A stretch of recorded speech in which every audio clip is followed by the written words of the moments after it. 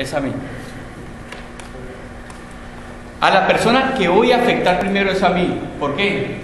Si alguien se enferma con la comida que yo preparo, ¿qué le pasa a mi restaurante? Se te cae. ¿De qué viven los restaurantes? ¿De comida o de buen nombre? De buen nombre. Viven de buen nombre, goodwill. Vean, créanme que no hay nada más importante, igual para nosotros los seres humanos. ¿Se acuerdan que yo les hablé de los que llegaron tarde? Le dije la importancia de tener la hora. No hay hora latina ni hora americana, hay una sola hora. ¿Por qué llegamos tarde? Es, hablemos de respeto. Yo tengo respeto para conmigo, tengo respeto para con demás, con el tiempo de los demás. Igual pasa con los alimentos. Si yo los administro bien, eh, me respeto a mí mismo porque voy a servir un alimento que yo sea capaz de comérmelo. ¿Sí o no? Pero yo pregunto, en nuestros países y aquí, porque aquí también pasa, la gente no sabe lo que come, ¿sí o no? ¿O hablo mentiras?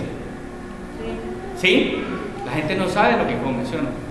¿Quién me dice que estoy mintiendo? ¿Y por qué? ¿O están de acuerdo todos? ¿Las personas sí saben qué comen o no saben? Es decir, están en manos de los cocineros, pero ustedes como cocineros también son clientes en otras partes o no? Sí. Mm. ¿Se vuelven más piquis cuando uno prepara bien la comida para ir a comer a otra parte no? Ok. Entonces, parte de lo que yo les vengo a enseñar en ese curso, perdóname, este folleto que traigo acá, hoy tenemos una invitación de tres, de tres, ah, de tres, de tres TAO, son la Secretaría de Salud para dictarles a ustedes un curso de cómo manejar los alimentos, pero es apenas una horita, hoy lo vamos a aprovechar al máximo. Pero el curso grande pueden llamar acá a la empresa que yo represento, que es Pastor Training, y pueden obtener un curso de 8 horas y ganarse un certificado. Es decir, aquí piden certificado para pegar una puntilla, ¿sí o no? Hay que tener licencia para pegar una puntilla. No hablo mentira. Y para cocinar que es tan peligroso y de tanta responsabilidad no la piden. Esto es eso, una licencia para decir que la persona que tiene ese certificado es capaz de manipular bien los alimentos. ¿Ok? Los invito a que lean bien el folleto, las dudas que tengan pueden llamar. Se atiende en inglés y español, o sea que no hay problema que llamen en, en español.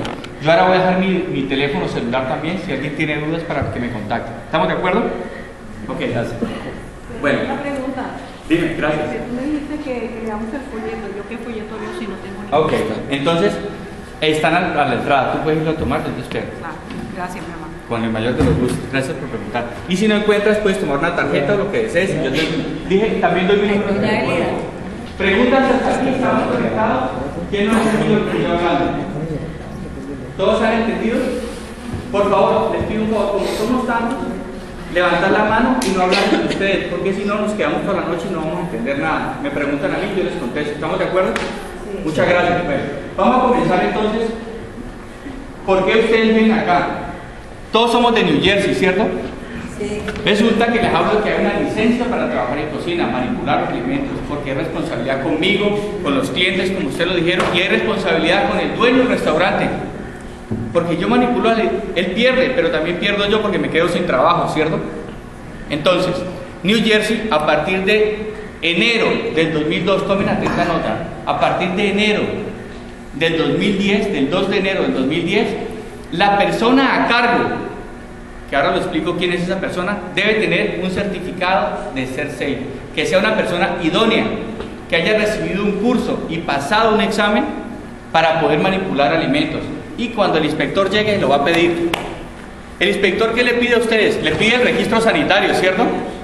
¿Sí o no? A los dueños del restaurante.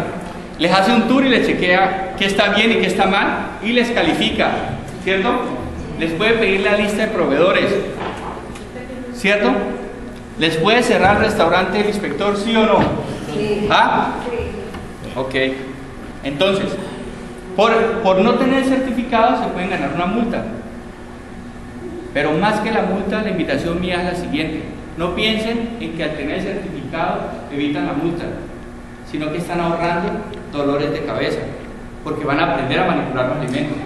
¿De acuerdo?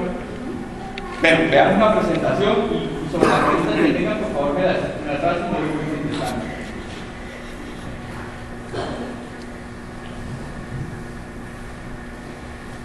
La clave aquí es entregarle alimentos seguros a los clientes. Vamos a entregar alimentos, lo que preparemos son alimentos seguros.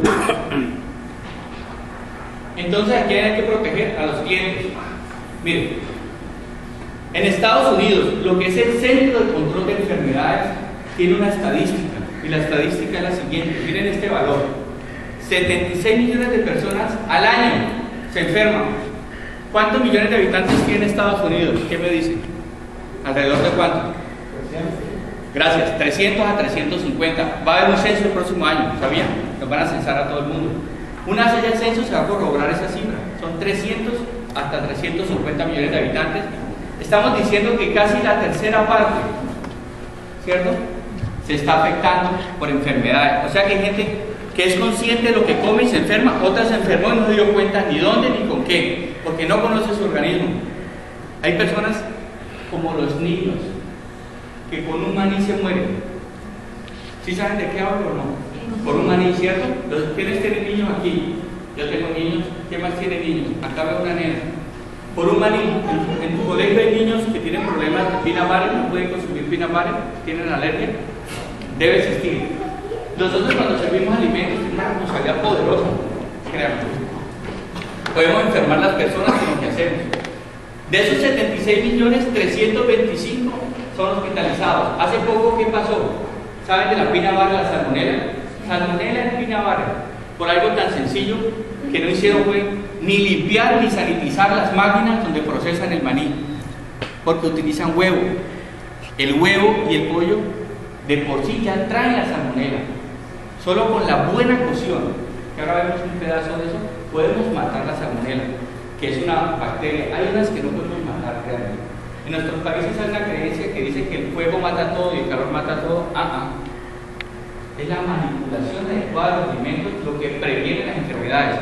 Para evitar estas cifras, miren, 325 mil hospitalizaciones y 5 mil muertes, miren, cada año, por enfermedades producidas por malos alimentos. Es decir, alguien irresponsablemente estaba enfermo, fue al baño, no se lavó las manos, vino o se las lavó más mal porque pudo haberla lavado mal, que es lo frecuente, tocó el alimento y contaminó a la persona que se lo consumió, lo enfermó. O sea que ustedes lo dijeron al principio, la responsabilidad de cada persona, ¿cierto?